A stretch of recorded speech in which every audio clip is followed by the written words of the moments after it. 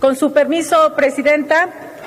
esta iniciativa que hoy presento a nombre del Grupo Parlamentario del PRD viene a sumarse a las múltiples, a las múltiples propuestas y esfuerzos que se han realizado desde hace años, entre ellas la que ha presentado la diputada Marta Tagle, que eh, suscribimos otras diputadas,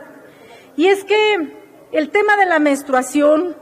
no es un tema solo de las mujeres. La menstruación en nuestra cultura ha sido tradicionalmente símbolo de fecundidad, Ha significado el tránsito de la niña, la mujer fértil, que podrá concebir y dar paso a una nueva vida. Sin embargo, en la actualidad se ha estigmatizado segregando a las mujeres y a las niñas que durante su periodo son calificadas como emocionalmente inestables, poco productivas e incluso como una carga para la sociedad.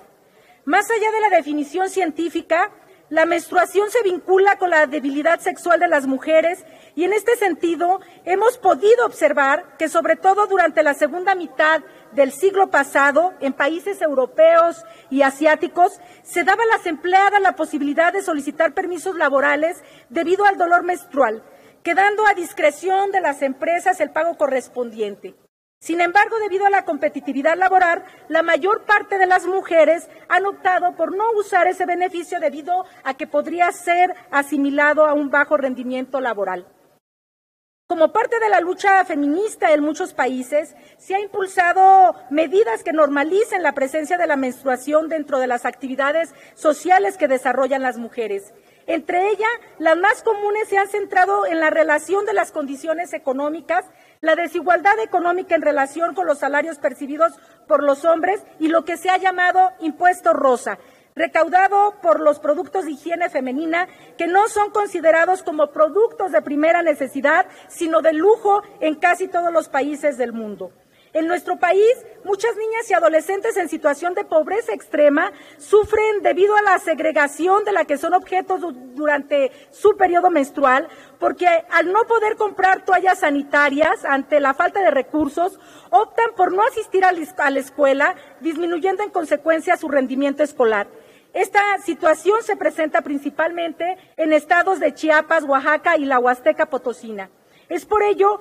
que en consonancia con la defensa y protección de los derechos humanos, específicamente de las mujeres y niñas en situación de pobreza, así como los principios de progresividad y equidad en la imposición de las contribuciones federales, proponemos que los productos de higiene femenina sean considerados como de tasa cero en relación al impuesto al valor agregado. Adicionalmente, en las disposiciones transitorias establecemos que la Secretaría de Hacienda y Crédito Público deberá establecer las condiciones recaudatorias para, favorecer el uso de productos amigables con el medio ambiente que sean biodegradables, no desechables o reutilizables.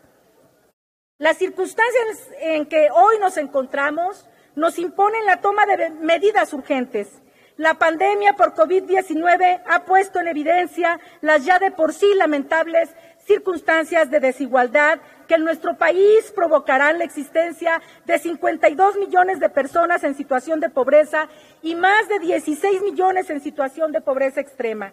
De todas ellas, las que se encuentran en situación de mayor vulnerabilidad son precisamente las niñas, adolescentes y mujeres que deberán enfrentar no solo el consumo cotidiano de los productos de higiene menstrual, sino que además la reducción de los ingresos familiares, cuya principal finalidad no será, sin duda, alguna la satisfacción de las necesidades higiénicas y de salud de las mujeres, adolescentes y niñas, las que pasarán a segundo o tercer plano. Adicionalmente, debido a las medidas sanitarias, el desabasto y el encarecimiento de productos añadirán elementos de tensión y angustia para poder conseguirlos, sacrificando en ello la higiene y salud sexual de muchas niñas y adolescentes.